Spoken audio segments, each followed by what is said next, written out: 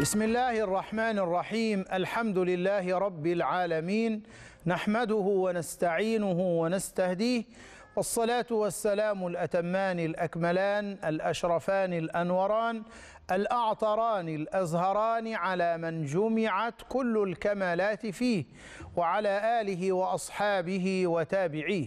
يا رب بالمصطفى بلغ مقاصدنا واغفر لنا ما مضى يا واسع الكرم.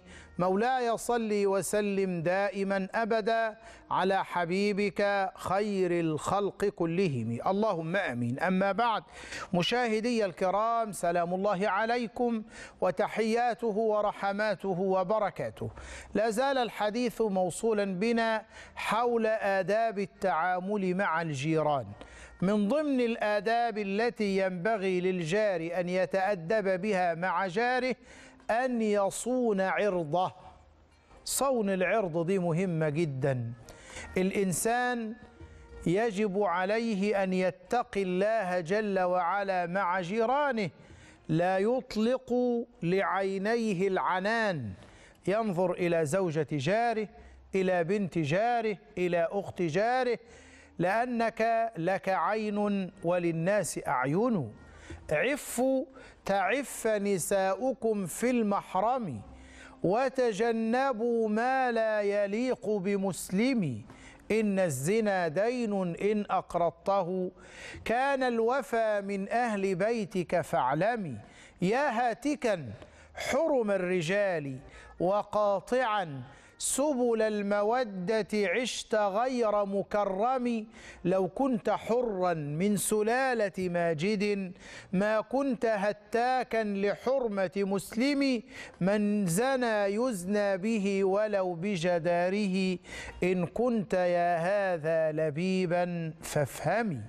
لا تطلق لعينيك العنان. لا تؤذي جارتك بكلمة. لا تؤذيها بنظرة.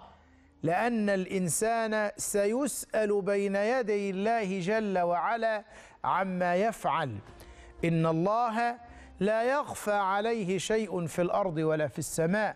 عينك إن امتدت إلى جيرانك وإلى جاراتك فتذكر قول الله جل وعلا ولا تمدن عينيك إلى ما متعنا به أزواجا منهم زهرة الحياة الدنيا لنفتنهم فيه ورزق ربك خير وأبقى.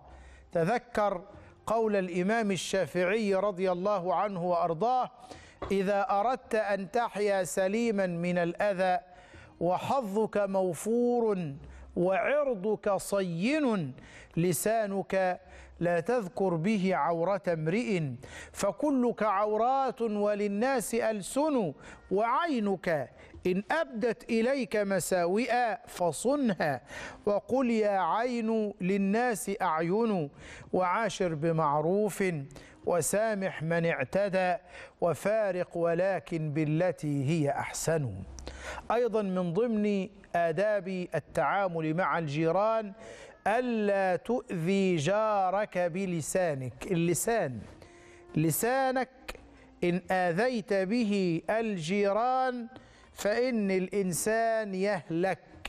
بدليل إن سيدنا النبي صلى الله عليه وسلم ذكروا له امرأة. قالوا يا رسول الله إن فلانة جارة لنا.